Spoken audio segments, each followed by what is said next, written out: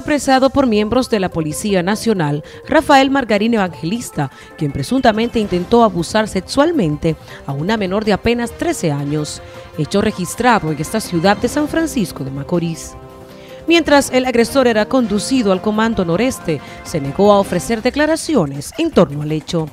El padre de la menor manifestó lo siguiente.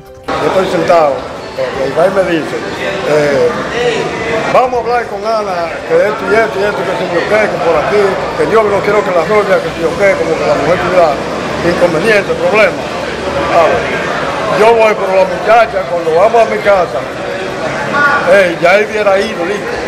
Yo no estaba, yo no lo vi. ¿Qué le dijo a ella?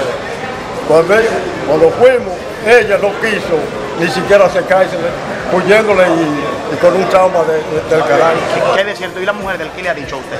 No, yo como que vino esta mañana diciendo... ¿Le han ofrecido dinero? Esta mañana de que, de que echara para adelante, que ella iba a echar para adelante, que ella tenía su abogado y que ella iba a resolver su papel, que yo qué, tengo por aquí. Con una amenaza. ¿Lo han amenazado? Eso, eso se llama una amenaza. ¿Y dinero lo han ofrecido? ¿Eh? No, no. Porque yo no acepto, yo no necesito cinco centavos de nadie. ¿Y entonces qué usted quiere en adelante? Justicia es lo que yo Justicia. En las próximas horas será sometido a la acción de la justicia. Para NTN, su noticiero regional, Joanny Paulino.